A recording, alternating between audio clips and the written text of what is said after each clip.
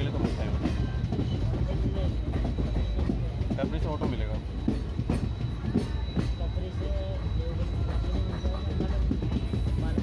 सहारनपुर से अम्बाला की